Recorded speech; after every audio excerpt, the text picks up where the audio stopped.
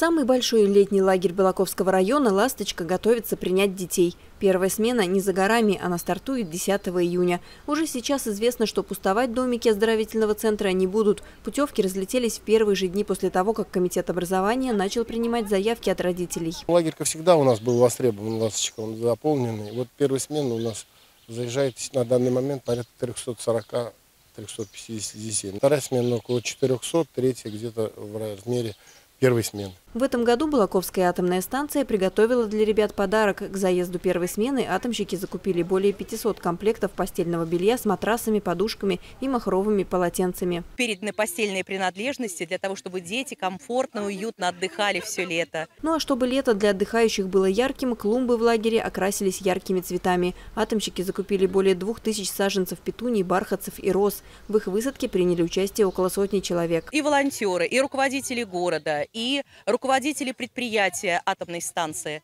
э, собственно, все те, кто э, хотел бы сделать вклад, чтобы детям было хорошо и комфортно. Это первая акция, которую Балаковская АЭС провела в лагере «Ласточка». Но организаторы говорят, что и дальше будут помогать оздоровительному центру становиться комфортнее. Ведь детство – это самая счастливая и беззаботная пора в жизни каждого человека. И оно должно быть ярким, чтобы воспоминания об этом времени согревали человека всю жизнь.